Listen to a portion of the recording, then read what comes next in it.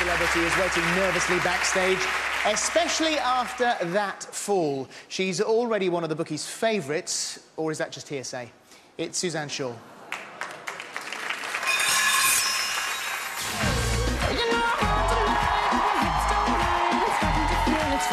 I think you've got guts and strength, and I'm really looking forward to seeing where you're going.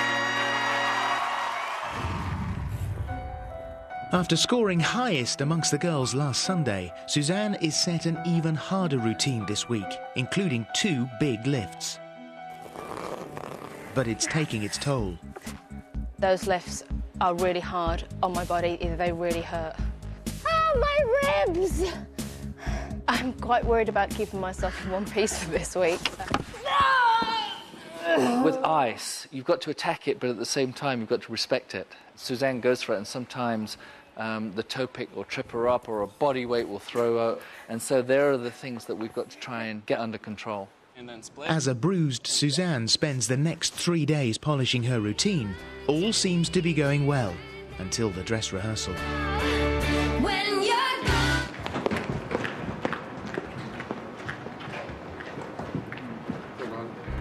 I actually have no idea what happened. One minute I was skating, the next minute I wasn't. But it all seems a bit of a blur. She caught her toe pick or a rut in the ice, and so I ended up kind of diving over top of her, and just the back end of my heel of the blade scraped her head. this is going to sting Okay.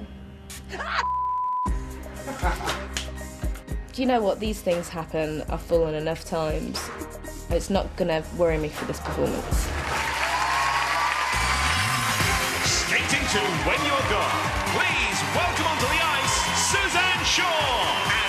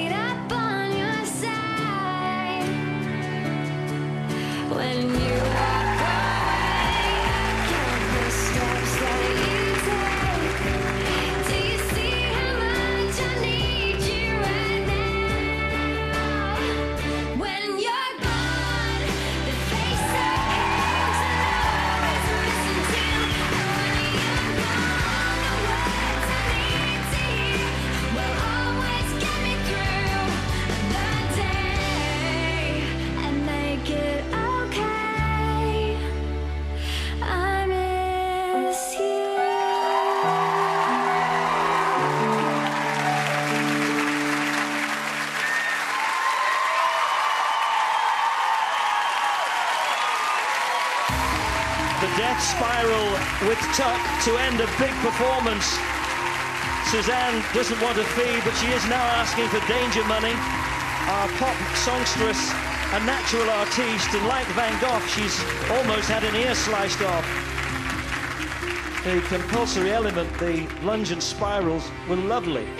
This is the lift they call the Charlie horse with the, the leg hook, followed by the forward roll up into the crucifix.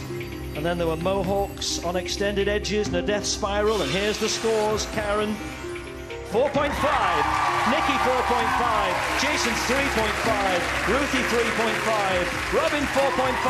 That gives them 20.5. 20.5, it's the highest score of the night, and it's been hard won, that's for sure. Oh, yeah, absolutely been so hard this week. And uh, You, you didn't, obviously, you hadn't seen uh, your fall until we played you that VT. I know. You were, you were that far from losing all your teeth, Um, and then you got nicked in the, in the back of the head. absolutely, I've got a bit of a hole in my head at the minute. Uh, lost a few brain cells, but it's not too bad.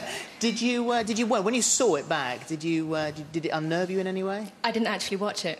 I was Ah, like that all the way up. shut. Yeah, I kept my eyes shut, yeah. And it's easy to forget that this is a dangerous show, that these things can happen and those blades are sharp. Honestly, I think ice skating is probably one of the most dangerous sports out there because of the, you know, our apparatus. It's ice and blades. Yeah, they're not mucking about out here. No, I've got a few nicks in my head. Have too. you? Yeah, from Jayne. Good, good lunges, good uh, yeah, required very, element. very good, Suzanne. I mean, Suzanne has all these little trips and falls, but she just tries even harder. She's not going to let it get her That's down. what's great. She just gets right back up and says, "Okay, let's go, let's do it again." Got over the injury and back on. I'm just Well so used to falling now, and now I've got a little Matt scar to remind me of him all the time. Let's see what the judges have to say. Holly. Thanks, Phil. A great scores, great routine, and it seemed like the skating scores were highest. Nicky? Yes, well, I'm really excited by your grace out there on the ice and also the potential you have.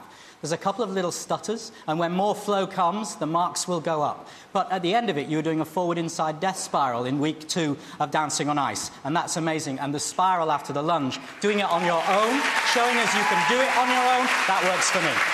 They're like skater Barbie and Ken, aren't they? I love it. Jason? I, I have to agree. It's a beautiful presentation. There is such poise and elegance in all of your movements and everything that you're executing. I would just say that, you know, it just make sure, because of the determination, it, that you have a bit of a harder look on your face. Just soften that a little. And I can I also mention, I was amazed to see that Duncan James's um, poo on a stick move made it in there at the very end of your um, routine. I can't believe that came back. Thanks for that, Jason. I think. Can I also- I, I, I do agree uh, very much with what Jason says about, um, you know, the grace and everything. But um, what I never see is um, a, a point of view. I, I don't know what music you're listening to. You need to interpret the music because that's what is missing for me. Excuse Okay. me for. Thank you, judges. Thanks very much. Okay, happy with those? oh, absolutely, yeah. Yeah, that's great. All right. Well, if you think our singer deserves your backing, then uh, give her your vote when the lines open at the end of the show. Suzanne and Matt.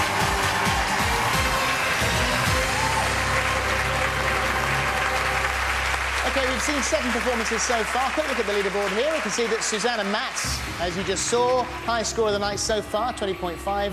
Chris and Frankie is second. At the bottom, we've Aggie and Sergey on 10, and Greg and Christina on 11.5. That's the judges' scores. But your votes are equally, if not more, important. So if you want to, you can change that leaderboard. Remember, the person bottom last week didn't end up in the skate-off, thanks to your votes. Coming up, Gareth Gates goes all Ali G, and Michael Underwood attempts the death spiral. See you after the break.